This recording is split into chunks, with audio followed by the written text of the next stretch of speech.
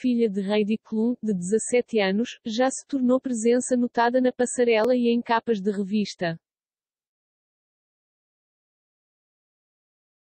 Ser modelo era uma questão de tempo e o trabalho tem-no confirmado protegida do mundo da fama quando era mais pequena. Leni Klum começou a despontar há quase dois anos e agora é sem filtros que vai mostrando as suas conquistas.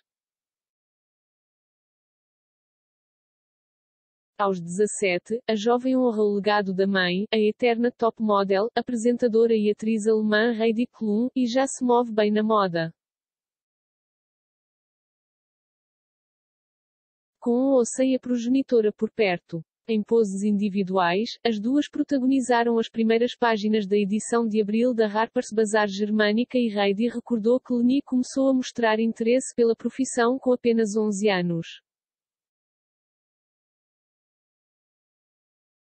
À mesma publicação, a adolescente também contou qual o melhor conselho que recebeu da mãe. Ela está sempre a dizer-me: "Se apenas fiel a ti própria e não deixes que o que as outras pessoas dizem te afetem ou mudem o que estás a fazer. E é sempre bom dizer não. Ignorar comentários está entre as dicas recebidas e acatadas.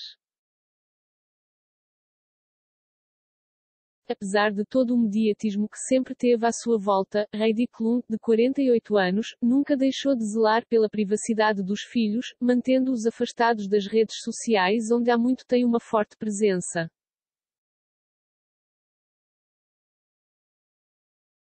Só há quase dois anos é que Leni, a mais velha, começou a ver-se mais, inclusive no universo digital, reunindo agora mais de 1,2 milhões de seguidores no Instagram.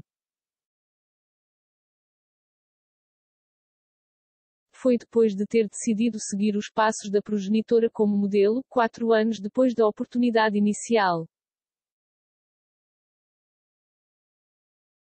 A primeira oferta surgiu quando eu tinha apenas 12 ou 13 anos, de uma marca que gostava de usar, Brandy Melville. Na altura, implorei à minha mãe, mas sem hipótese. Agora entendo que seria muito cedo, recordou na primeira entrevista dada.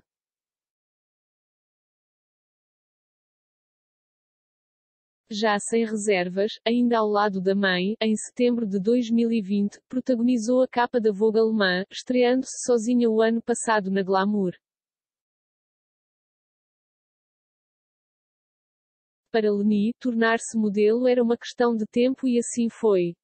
Em agosto de 2021 também desfilou para a Dolce Gabbana, em Veneza, nunca mais parando de figurar em importantes editoriais.